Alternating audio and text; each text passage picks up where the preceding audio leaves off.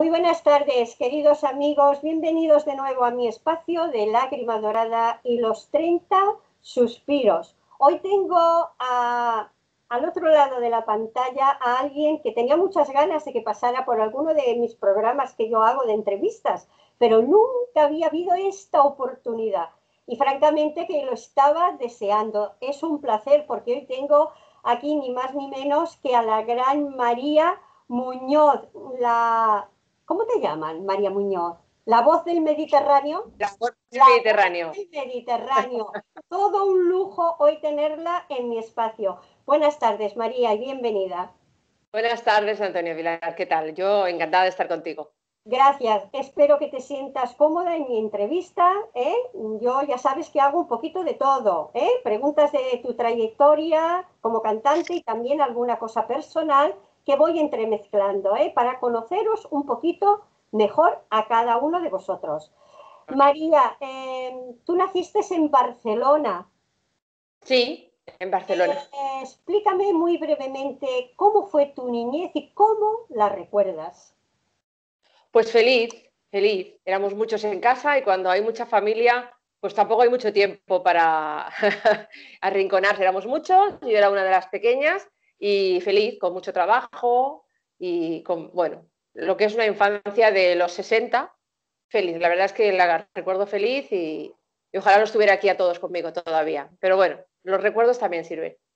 O sea, que tienes un recuerdo feliz de tu infancia. Eso es muy importante, ¿eh? Los recuerdos que tenemos de nuestra infancia.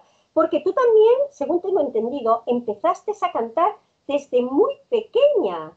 ¿Cómo fue esto? ¿Cómo fue? Pues en casa me escuchaban cantar desde la habitación y, se, bueno, no, lo debía hacer tan mal cuando en cualquier fiesta, sabes que antes en los 60 y los 70 nos reuníamos todos, los tíos, los primos, era costumbre, y me llamaban para cantar y yo estaba ahí escondida en un rincón porque me tiró una vergüenza horrible y me hacían cantar y ahí pues fue cuando empecé a darme cuenta de que tenía un poder así como misterioso, que era que cuando yo cantaba todo el mundo se callaba y eso era maravilloso para una niña, o sea que fue estupendo. O sea que tus inicios empezaron casi casi que por aquí familiares a cantar, sí, ¿no? Sí, sí, completamente, completamente. Eh, yo me ha dicho un pajarito, que yo siempre tengo pajaritos que me lo cuentan todo, que tú quisiste cantar siempre con Alejandro Fernández y Moncho. Moncho lo conocemos, pero explícanos quién es Alejandro Fernández, que no es tan conocido. Hombre, quise y quiero cantar con Alejandro Fernández, la verdad es que me parece un... Para mí, hoy en día es lo máximo en voz masculina de, música de habla hispana, porque lo abarca todo, la ranchera, el bolero, eh, la balada pop, eh, puede hacer lo que quiera este señor. Aparte tiene imagen y es el hijo de Vicente Fernández, todo un icono y todo un, un, ídolo para México y para toda Latinoamérica. Y yo, bueno, pues sigo ahí intentándolo. En cada programa que me llaman, siempre le digo, Alejandro, que estoy aquí, soy María, la pesada de siempre. Cuando quieras, hacemos lo tuyo. Pero, ¿este, eh, eh, ¿este señor está cantando actualmente?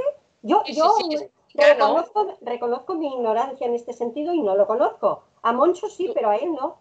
Pues Alejandro es el hijo del señor que, cantaba El Rey. Pero sigo ah. siendo el rey. Bueno, que siempre va vestido de charro, pues su ah. hijo, búscalo en YouTube que te vas a enamorar. A mí me gusta él como canta, su imagen pues está bien, pero no, no es que sea mi prototipo de hombre, la verdad, pero es muy, muy, muy charro, muy, me gusta mucho. Y entonces cuando se pone el smoking está impresionante y tiene una voz de terciopelo muy parecida a la de Moncho, pero con otros registros, claro, que lo lleva a su tierra, ¿no? que es mexicano. Es una maravilla. Antonio Pilar, una maravilla, búscalo, que te va a gustar. de, hecho, de hecho, es una asignatura que tienes pendiente, María, como todos, que tenemos muchas asignaturas pendientes todavía. Eh, tus géneros musicales son el bolero, la ranchera y la balada, pero ¿en cuál de ellos te sientes más cómoda a la hora de cantar ante un público? es que qué dedo te cortas que no te duela, ¿sabes? Es que depende, depende. Yo los uno todo un poco, porque mira, Moncho decía que todas las canciones son susceptibles de ser bolero, porque todas tienen una, canción normal, quiero decir, de toda la vida.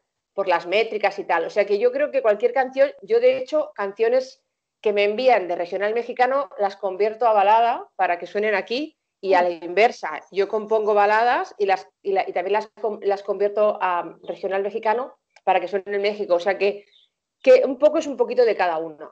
De uno me quedo los ojos, de otro me quedo el pelo y de otro, de otro me quedo las manos. O sea... ¿Has cantado algo de Rocío Durcal también? Muchísimo. Tengo un espectáculo que se llama así, Canta Rocío Durcal. Sí. ¿Eh que sí? Uh, María, ¿por qué la voz del Mediterráneo? ¿Por qué? Pues mi director musical de la orquesta primera que yo estuve cantando, que yo tenía 16 años cuando empecé con ellos, 17, eh, me presentaba al público como María Muñoz, la voz del Mediterráneo. Y bueno, para él se le ocurrió, le pareció bonito, porque la orquesta se llamó en principio la Orquesta Mediterráneo, y a partir de ahí, pues me conocían por eso y me encantó, la verdad, y, aún lo llevo conmigo de mochila. Bueno, a, mí, me gustaría decir a la gente que vea la, la, entrevista, porque estas entrevistas tienen muchas visualizaciones, porque las comparto por Argentina, también por países latinoamericanos, que luego hablaremos de esto, María, más adelante.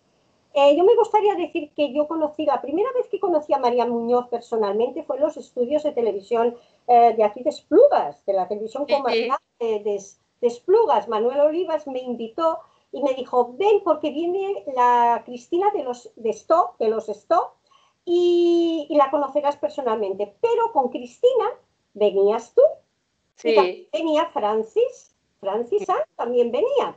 O sea que a través de este día yo te conocí a ti, que entonces eras, bueno, mm, empezabas por, este mundo musical. O, te, apadrinó, mm, Cristina. ¿Cristina no es tu padrina musical? Cristina padrinó el primer disco de estudio. eso es. Pero yo ya llevaba, yo llevaba cantando pues desde los 16, desde los 17 años profesionalmente. Sí, sí, sí, sí. Pero yo no te conocía y a partir de, conocí también a tu marido y bueno, y a partir de entonces, pues sí que nos fuimos ya viendo en algunos programas de, de poesía en vivo y en algunas otras partes, ¿no? Eh, ¿Qué relación tienes con Cristina de los Stop? pues muy buena, muy buena. La conocí en una cena. yo le canté una canción que ella cantaba en Cuba, que es Con su blanca palidez, un clásico de, de la balada de los 70. Y nos hicimos amigas, junto con, estaba ella y Víctor Guerrero, y a partir de ahí, pues ella me dijo que le gustaba el disco, que pues vente para la presentación, se vino, en fin, Víctor me presentó, quedó muy, muy, muy bonito y seguimos con la amistad. La verdad es que ella vive, vive en Torrijos, en Toledo. Toledo, sí. Pero cuando viene, a veces se ha quedado en mi casa o, en fin, que hay una amistad bonita. Eso es lo bonito de la música. Por cierto, si no estoy equivocada, ha grabado, ha sacado ahora un, CD un CD estupendo, que yo me alegro muchísimo por ella porque tenía muchas ganas de ella de sacar material nuevo eh, y estaba súper feliz, le ha dado, le ha dado, le, ha quitado 10 años de encima a su estado de ánimo, porque ella está estupenda, tengo que decir. Sí, está, está, muy bien la Cristina. Bueno, ya me pondré en contacto yo con ella a ver si la puedo también entrevistar y hablar de su. Seguro que sí, seguro que sí. María, vamos a seguir contigo, que tú eres ahora el centro. tú, eres la, invitada. Vamos a ver. Venga. Después de 30 años dedicada a la música, te decides un día a grabar tu primer disco, pero como compositora de letra y música. Eso tienes que explicarlo. Vamos a ver, explícanos eso. ¿Cómo surgió? ¿Cómo surgió? Cantando toda la vida y cantando lo que ahora se llaman covers, que son versiones. Hacía versiones, estuve en un restaurante 28 años, metida allí cantando todos fines de semana, jueves, viernes, sábado y domingo, todas las fiestas, Nochevieja, carnavales, todo allí, porque decidí ser mamá y quería dedicarme a mi hijo y colgué eh, la maleta, ya no viajaba, solo estaba allí. Pero un buen día decidí, bueno, ya mi hijo era mayor y dije, bueno, tengo canciones que iba escribiendo guardadas en un cajón, vamos a hacer algo que que dejar como un legado, ¿no? Porque yo no, es que no pensaba que después de ese vendrían más, sino que sería, pues, va, una incursión en el mundo de la composición y como un legado a mi hijo. Y ahí lo grabamos y a partir de ahí, pues empecé a escribir más y más y a grabar más y ya llevo cuatro discos y, y, acabamos de, bueno, la canción que tengo preparada es una de las últimas que hemos, que hemos hecho, composición mía, y tiene ya mi director musical la última, que la tenemos que grabar la semana que viene, que también es composición mía, o sea que me he lanzado al ruedo y ahora ya pues ya no hay quien me pare. Es lo mismo que le pasa a un escritor cuando escribe o, edita su primer libro, ¿no? Que a veces escribes cosas, las guardas en un cajón, pero nunca te ves capaz de editar. Hasta que un día dices, lo tengo que editar para dejar algo a mis hijos o a mis sucesores, que sepan mi madre lo que hizo en, esta vida, ¿no? Muy bueno, pues me parece muy bueno esto. ¿Y la música quién te la hizo, María? De, estas canciones la música la hacía yo. es que la... También, pero bueno, esto es toda una odisea. si, supieras, ¿eh? si tú supieras cómo compongo la música, escribo la letra y la canto y me la grabo con el móvil. y voy cantando diferentes versiones de diferentes melodías, a ver cuál me gusta más, y cuando la tenga la que me gusta, se la envío a mi director musical, le digo cómo quiero que suene, a qué quiero que se parezca, para que él sepa un poco lo que tengo aquí, y yo compongo así, como José Alfredo Jiménez. Bueno, mucho peor, por supuesto, pero él componía cantando, porque no tengo ningún instrumento de momento. Estoy pensándome en empezar a hacer algo de piano, pero no sé, me da mucha. Soy muy perezosa, ¿eh? Tengo que decir, soy una libra. Soy eso, te, eso te lo tienes que quitar de encima. La pereza no es buena. tienes, que quitártela. Eh, María, hablando, bueno, de pereza, mm, en este último año, por desgracia, por desgracia, hemos caído todos en una pereza obligatoria porque nos hemos visto pues todos a dejar toda, todo lo que teníamos en proyectos, lo que teníamos montado, espectáculos, actuaciones. Yo, una de ellas, dos cosas paradas desde hace un año en Barcelona. ¿Cómo lo, lo estás viviendo todo esto del COVID, María? ¿Cómo lo estás viviendo? Han sido, habido etapas. La primera etapa, pues con un poco de, bueno, mal, porque se, cortaron todos los conciertos que tenía el año pasado, pero con una esperanza que pensábamos, bueno, para San Juan estaremos fuera, por eso compusimos la canción para San Juan, y había una ligera esperanza. Ahora, después de las Navidades, este, este socavón que hemos pisado, a mí, a mí personalmente me ha dejado tocadita porque conozco, tengo amigos que están, han pasado la COVID, amigos que siguen en, las UCIs, gente que nos ha dejado, muchos artistas, eh, los trabajos están fatal, gente que me encuentro por la calle que han cerrado, que, han vendido equipos de sonido y, no le vemos aquello, no ves en el horizonte tierra, ¿sabes? Entonces, no sé, hay días, tengo días que estoy más animada y días que estoy un poco de, de chof. Pero así somos los artistas, también te digo. Tú lo sabes, que tenemos días de chof que estamos súper activos componiendo y días que estás toda happy, happy, que dices, pues, así somos. Me pasa. Yo el otro día estaba hablando precisamente con Carol Luque, que también la hice, y también la pobre lanzó un SOS de, de, auxilio porque dijo, por favor, que podamos actuar. Lo que no hay derecho es que cantantes como Rafael puedan llenar, ¿eh? puedan llegar a un teatro, e, en un escenario con, sin ningún tipo de, miramiento con todo lo que estamos pasando y que artistas como nosotros, más sencillos, no podamos actuar, que, de hecho vivimos muchos de ello. Y lanzó un mensaje de, socorro porque dijo, por favor, que nos tengan en cuenta y que nos dejen actuar. O sea que eh, es horrible. Tenemos que darle, mandar esos mensajes a los ayuntamientos y los centros cívicos y las asociaciones de vecinos, que son los que van a empezar a abrir sus puertas de sus salas y con muchas medidas que las hay que y que de verdad que son todos, todo está muy, muy pensado, que puedan empezar a hacer programación para que los artistas de nuestro nivel, no del nivel de Rafael, de nuestro nivel podamos empezar a trabajar, si no, mm, pues no sé qué pasará. Bueno, María, eh, hemos hablado de Moncho. Ahora, hablaremos de él. Ahora hablaremos de él. En tu último CD, Lo íntimo, eh, bueno, antes, eh, antes de hablar de Moncho, me gustaría hacerte esta pregunta porque creo que mm, mm, tiene algo, algo que luego te preguntaré más adelante y luego hablamos de Moncho. En tu último CD, Lo íntimo, dices en un momento que has encontrado tu sonido, el sonido perfecto. Esto me ha llamado la atención porque ¿cuál es tu sonido perfecto, María? Pues yo, mira, mi sonido es ese que suena en lo, íntimo, que hay diferentes estilos musicales, pero todos parecen el mismo.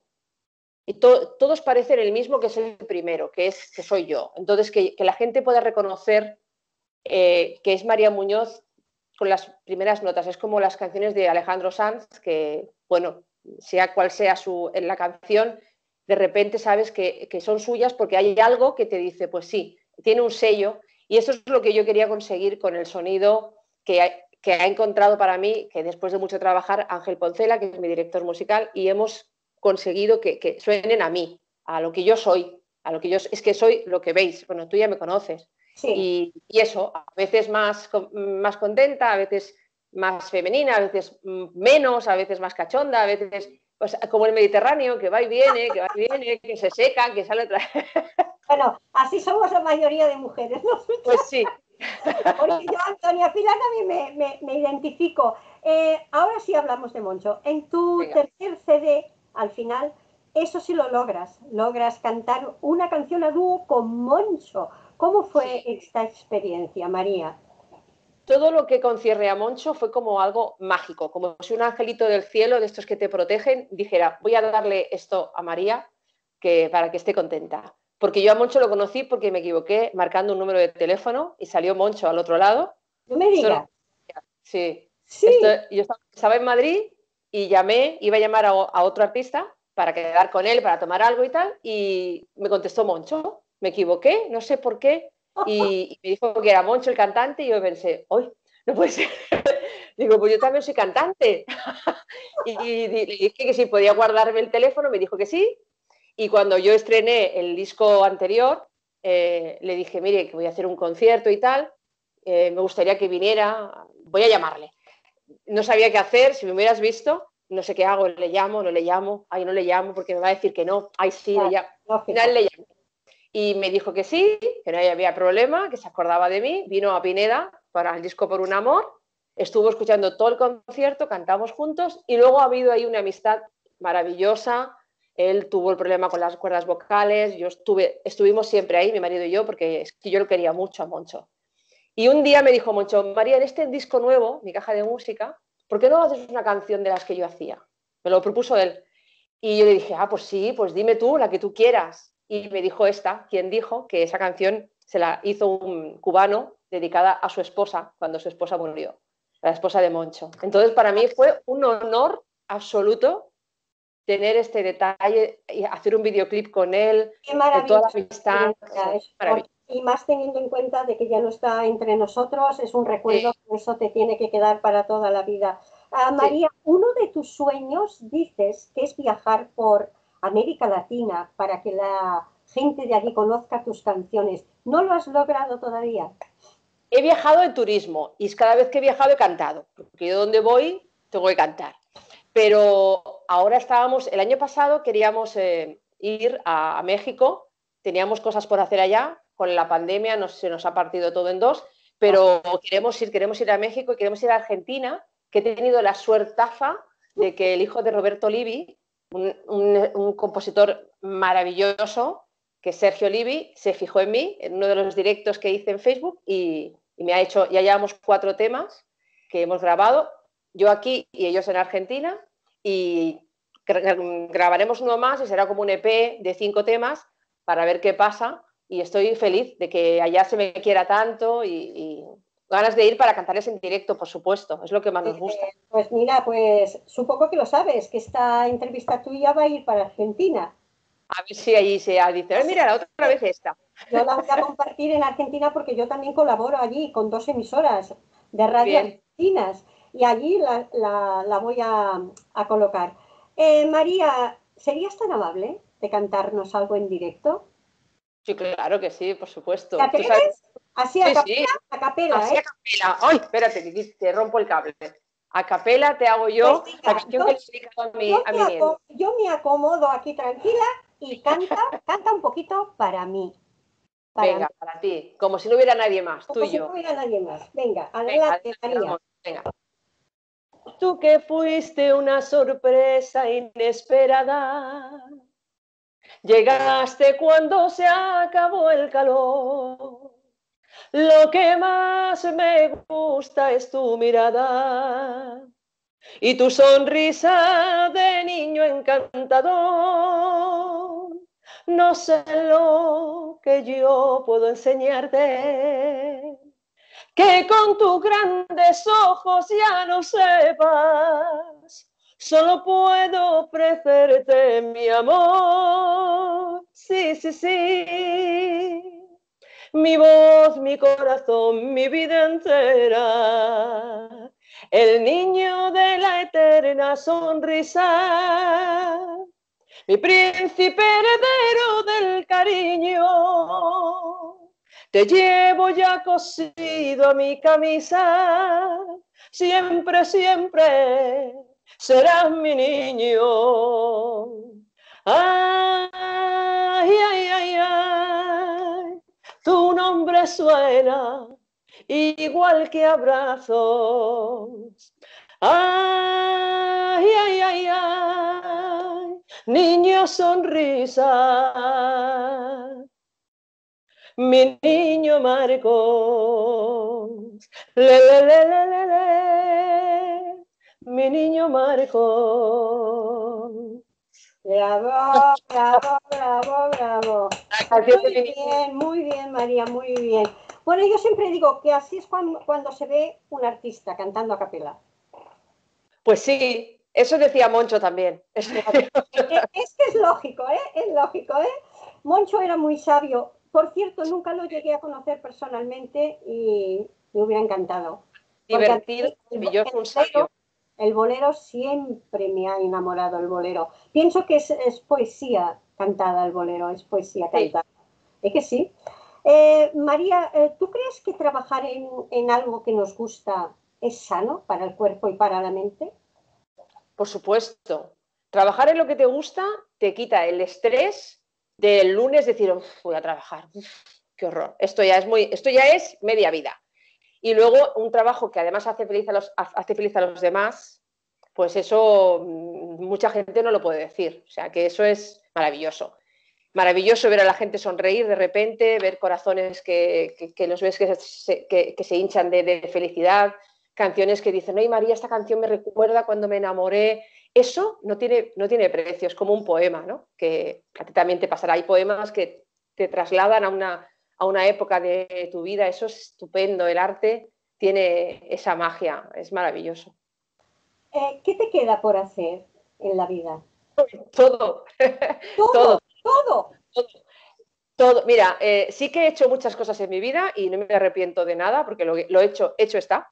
Y lo que no hice también hecho está, o sea, son decisiones que tomas en la vida, pero me gustaría, bueno, eh, conseguir un poco de, reconocimiento, no tanto famoseo, tampoco me interesa tanto ya eso, eh, ni ese éxito que no puedes salir a comprar el pan, no, pero sí reconocimiento a un trabajo, a una trayectoria de más de 35 años que llevo, y para que mi, hijo y mis nietos, cuando sean mayores, digan, pues mira, mi abuela hizo esto, hizo aquello y está aquí y está allá y consiguió esto. Eso es lo que todo el mundo quiere, supongo, ¿no? Y eso es lo que quiero, y verles crecer. O sea, no, no, no hay más, no hay más. Nos vamos acercando eh, al día 8 de marzo, que se conmemora el Día Internacional de la Mujer Trabajadora. ¿Cómo ves la mujer actualmente en la sociedad, María? Bueno, creo que están, hay, hay yo creo que hay dos grupos de tipos de mujer, la que no para de luchar siempre, siempre, siempre. Creo que ha dedicado su vida a luchar y nunca están contentas con, las, con, los, con los logros. Y las otras, las de verdad, las que pasan el día a día, las que tienen que pasar la aspiradora, las que están solas con hijos, a ese tipo de mujer no le hables de manifestaciones porque no tienen tiempo. Entonces yo creo que hay que ser, em, conseguir igualar en derechos, pero yo no quiero ser igual que un señor con bigote, también te digo. Yo soy una mujer y me gusta que me abran la puerta y me dejen el asiento. Si por eso soy una antigua, pues lo soy pero así es como pienso y creo que debemos seguir eh, luchando para que nos paguen igual y para que nos dejen los días que tenemos libres y la maternidad y que no sea un problema tener hijos para depende de qué profesiones. Esto sí, pero no hace falta irse a la trinchera para eso. Eso se consigue, eh, a veces se consigue poquito a poco, como nuestras madres y nuestras abuelas, poquito a poco, sin levantar el puño, no hace falta. Si hoy fuera el último día de tu vida, ¿Qué te gustaría hacer, María? Si hoy fuera el último día de mi vida, mira, pillaría un avión, ya no iría ni con mascarilla, también te digo, porque si, me voy a morir, ya total, ¿qué pasa? y me iba a ver a mis nietos, con mi marido lo agarraba así del cuello, a ver a mis nietos y a estar con ellos y con mi hijo y con mi nuera los últimos, los últimos momentos de, de mi vida. No por mí, porque si te mueres ya no te acuerdas, pero para que ellos tengan el recuerdo más fresquito, más fresquito de su abuela. ¿Cómo lo llevas estar separada de tus nietos? Lo llevo mal. A ver, lo llevaba mejor cuando no había esta pandemia, que, que, que aunque no viajaba cada vez que quería, pero tenías esa libertad ahí en un cajón, decir, viajo Claro. cuando quiero. Cuando quiero. Pero ahora, como no podemos, sí que lo llevo un poquillo mal. También el miedo a que se pongan enfermos, mi hijo, esta, esta situación y, y la pena que me da que tengo un nieto, el de la canción, Marcos, tiene 15 meses y ha pasado una, más de una tercera, bueno, tres cuartas partes de su vida encerrado. Entonces, claro, él sale a la calle a buscar a su hermano al colegio y, y está así, con los ojos como platos, alucinando, flipando total, porque dices, ¿esto qué es? Esto, esta casa es enorme, ¿sabes? Eso sí que me da pena. Pero por lo demás son felices y, y bueno, ¿qué vamos a hacer? Pues eh, tirar para adelante como sea. Lo llevo mal, pero bueno, como son felices, me consuelo. ¿A qué le temes, María? Yo le temo al dolor. En eso me parezco cada vez más a mi madre. Fíjate, no me da tanto miedo morirme de repente. Quiero decir que el que se muere no se entera. Siempre dices, lo pasa peor el que se queda, ¿no? Pues, pero sí que al dolor, al dolor le tengo mucho miedo, mucho miedo. Al mío y al de mi, y al de mi gente, ¿eh? El dolor creo que invalida muchísimo, muchísimo. ¿Te sientes una mujer afortunada? Pues sí, no puedo decir que no porque sería faltar a la verdad. Sí, porque tengo gente, una pareja que me quiere, eh, tengo una casa, tenemos, podemos comer cada día, aunque estamos en, en, pandemia, hay gente que está muchísimo peor. Tengo una familia, unos nietos preciosos que me los voy a comer.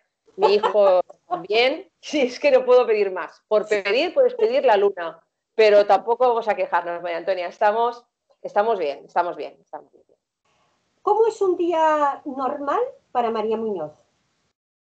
Pues como puede ser, el, bueno, el tuyo no, porque tú vas de boli todo, todo el día, pero como el día de cualquier mujer de, de, nuestra edad, quiero decir que yo hago las mismas cosas que hace cualquiera. No, no soy una diva, eh, ni me maquillo, hoy me maquillé un poquito para salir aquí contigo, pero voy normal, con chándal, a comprar, por la calle intento que no me conozcan, o sea que soy la anti, totalmente antidiva y hago las cosas que hace cualquier persona. Pero ahora en pandemia y antes también, ¿eh? Que yo, mi vida, mi día a día no ha cambiado, solo que no salgo porque salgo muy poquito porque sé que hay que estar en casa, pero el día a día es lo mismo. Paso el aspirador, limpio los cristales, como cualquier otra cocino, hago Una las cosas de casa normal y corriente, ¿no? Sí, Como sí, sí, yo soy como decía Concha Velasco, soy una artista y ama de casa 24 horas al día, que eso es dificilísimo. Tú dices también que sería agotador ser todo el día María Muñoz artista. Esa, es verdad, es que sería, yo no sé los, las que lo hacen cómo, lo pueden, cómo pueden sobrevivir a, a, una semana de ser todo el día y toda la noche, todo, durante todo el rato, lo que soy en el escenario. Es, es increíble lo que cansa y estar siempre con la pose eh, bien recta, bien estirada, porque se ve un Michelin, porque reír helado, porque se te ve la... ¿Sabes? Es que es muy difícil. es muy difícil decir lo que se tiene que decir correcto, no, meterte en jardines, que, porque hay, siempre hay gente que se puede ofender, eh, siempre con la sonrisa, aunque te estés, mmm, lleves un día de perros, no, no, eso, eso, es agotador. A mí, conmigo que no cuenten. Yo soy María y cuando subo al escenario soy María Muñoz y normalmente soy María o Mari y soy una persona normal. No, déjalo estar. María, si volvieras a nacer, ¿repetirías todo lo que has hecho? Hombre, si, sabiendo lo que sé ahora, sabiendo lo que sé ahora, hay cosas, evidentemente, cosas que no haría, cosas que no haría tan pronto y cosas que, que dejé de hacer que sí que haría, que me tiraría a la piscina. Porque luego te das, te das cuenta de que hay tiempo de todo. Cosas que te decían los padres, ¿no? No corras, que tienes tiempo de todo. Yo, nosotros nos casamos muy jovencitos, a lo mejor ahora pues me casaría más tarde, no por nada, ¿eh? para vivir la sensación de decir, pues estoy en casa de mis padres, no, soy el ama de casa, puedo dedicar a más cosas. Sí que hay cosas que cambiaría de orden, pero no me arrepiento de nada de lo que he hecho, ni de nada de lo que no he hecho, que eso es muy complicado. Hay gente que dice, hoy se hubiera ido por ahí, si toda la vida dándole al run run. No, las cosas pasan porque tienen que pasar y lo que está de Dios a la mano viene. O sea que no hay, con eso, eso es así, lo tengo claro. Ahora te voy a poner un poco en un aprieto. Vamos a ver lo que me contestas aquí. Dime, dime tres virtudes tuyas, pero también dime tres de tus peores defectos. Pues mira, yo creo que una de mis virtudes es que soy, soy bastante bondadosa, quiero decir que soy una buena persona. Eh, yo me considero buena, buena persona. Otra es que soy muy prudente, muy prudente para ser un artista, muy prudente. Y la tercera, pues eh, supongo que soy divertida, porque todo me alrededor se ríe mucho y eso a mí mm, me enorgullece. Vamos a poner esos tres que parecen que no tienen importancia, pero van muy bien. Y defectos, pues a veces soy un poco perezosa, eh, muy cabezota, eso sí, muy cabezota, me cuesta mucho dar el brazo a torcer y, a veces, eh, no sé, que es como que pienso, se me, va un poco el negativismo, o sea, a veces eh, me veo que me ha picado el bicho antes de, antes de llegar al bicho, ¿sabes? Entonces eso te hace que, que cortes mucho y que vayas muy despacio y que te pares cuando no deberías. Soy demasiado miedosa, vamos a poner miedosa. Sí, soy miedosa, soy miedosa. Eh, vamos a ver, María, a mí me gustaría hacerte tantas preguntas, lo que pasa que te voy a preguntar una que suelo preguntársela casi a todos. ¿Qué te ha quitado la vida? Pues a, muchísima gente que me importa, que necesito ahora más que, más que nunca. Me quitó a mis padres muy pronto, muy pronto, cuando no era consciente de lo mucho que les necesitaba. Cuando eres muy joven no, no eres consciente y ahora los necesito muchísimo. Yo envidio a la gente que tiene a su, padre, a su padre y a su madre, o al menos a uno de los dos. Los envidio, de verdad. Y, la, y, el no poderles enseñar a mis, a mis nietos lo, quién era su, su, bisabuela y su bisabuelo. Eso creo que es lo, lo más grande que me ha quitado la vida, mi familia. Pero también supongo que te habrá regalado muchas cosas la vida. Dime al menos algunas pues mira, me ha, regalado a mis nietos, que son, además son unos niños muy familiares, eh, adoran a sus abuelos y a sus bisabuelos, que tienen por parte de mi marido y por parte de su madre, tienen también, los adoran, son muy amorosos con, las, con los mayores y eso me parece un trabajo de mi hijo y mi nuera increíble. Y, y, bueno, me ha dado eso, tres nietos, que hay otras personas que no pueden tener nietos por circunstancias. Entonces, pues no me, puedo quejar. Y un hijo, pues como un hombre de, un hombre de bien, que eso para una madre, tú lo sabes, para una madre es un orgullo tener... María, proyectos, eh, perspectivas que tienes en un futuro. Vamos a ver, cuando todo esto del COVID se ponga mejor, ¿qué proyectos? Pues mira, queremos empezar ya en verano a trabajar. Si no se puede con, con la banda haciendo conciertos en, eh, teatros, estamos mandando ayuntamientos para que nos contraten para fiestas. También tenemos otra formación para cuando sea más pequeñito, que le, hemos llamado un 2-3 Show, es una formación de variedades, que mm. vamos Tony Carlo y Víctor Guerrero y yo, vamos los tres en plan Los Ángeles de Charlie, y tenemos dos formaciones. y luego tengo ya un auditorio preparado para octubre, eh, para hacer ya teatro, y tenemos... Eh, las grabaciones de las canciones que vamos a ir subiendo como singles a Spotify y a ir trabajando con ellas y, en, miras de poder viajar a América para, estar allí con Sergio Livi y estrenar el, EP este que te comentaba de los cinco temas que hemos hecho juntos. Muchos proyectos, a ver cuáles se, se ponen bien. que se puedan cumplir todos. Pero dime una cosa, ¿qué es lo más bonito que te han dicho en la vida? La verdad es que me han dicho muchas cosas bonitas. Tengo que decir que yo no, yo no siempre he sido así. Que se puedan contar, ¿eh? Vale, no nos vamos yo, a poner en aprietos